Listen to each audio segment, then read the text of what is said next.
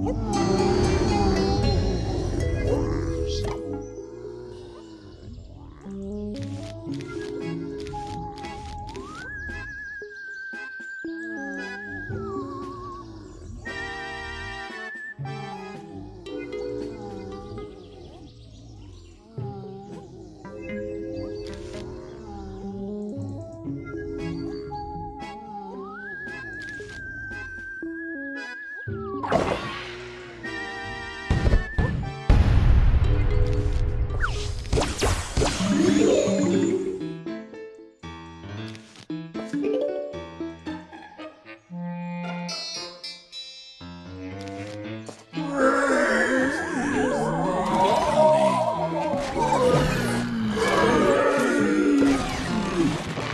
Yeah.